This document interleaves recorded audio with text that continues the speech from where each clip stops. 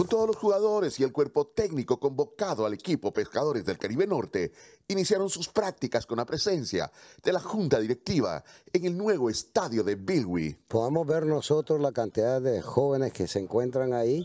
Ahí están los jóvenes que aspiran a ser del equipo de los Pescadores del Caribe.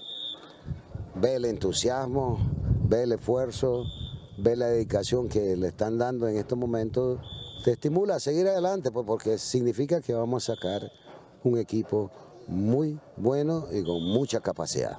Al respecto de la disciplina de los muchachos, porque todo está en manos de ellos, la disciplina está en manos de ellos, todo está en manos de ellos para llegar a su meta, para lograr lo que cada quien quiere lograr, es a llegar al, al equipo grande, que no es fácil, pero si ponen de su parte, ellos van a lograr. La nueva franquicia de primera división con el nombre de Pescadores del Caribe Norte está conformada por jugadores de Huaspán, Prinzapolca y Puerto Cabezas, con una base del antiguo equipo Costa Caribe. El entusiasmo es un entusiasmo que ellos han traído desde, fondo ahora que vamos a tener nuestro, nuestro propio equipo y se mira, ¿verdad?, la cantidad de peloteros que hay. El equipo tiene una clara identidad multiétnica, con jugadores de comunidades misquitas, afrodescendientes y mestizas del Caribe Norte, que prometen dar un buen espectáculo en el Pomares 2022. La expectativa primero, Dios, es clasificar a la otra ronda.